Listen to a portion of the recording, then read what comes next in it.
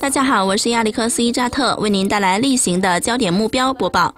今天我们将对美元、以色列谢克尔汇率进行预测。与我连线的是二四六 Top Capital 公司的艾亚科恩。由于加沙地带的冲突，谢克尔汇率过去一个月里显著下跌。以色列央行行长雅各布·弗伦科尔决定降低银行基准利率到最低的百分之零点二五。艾亚，您对未来一个月该货币对汇率变动有何预测？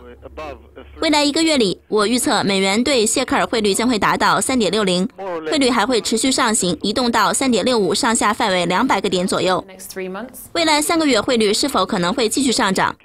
我认为中期来看，我们将会看到美元对谢克尔汇率进一步上涨到三点七五水平。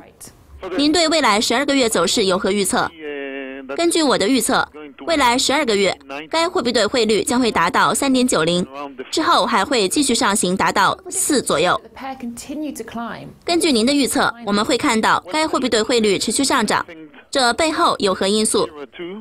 在过去的两年里，谢克尔汇率有所强化，原因在于实体经济的支持，但目前该货币对下跌的原因是由于以色列经济的弱化，贸易赤字加大，所以。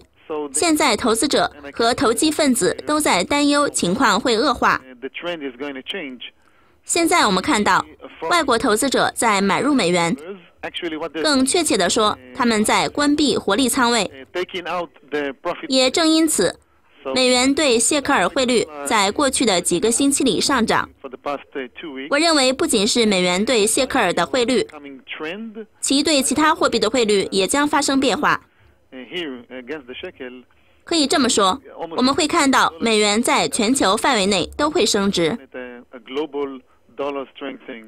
感谢您的意见分享，更多市场和经济相关的新闻，敬请关注杜高斯贝电视。再见。Goodbye.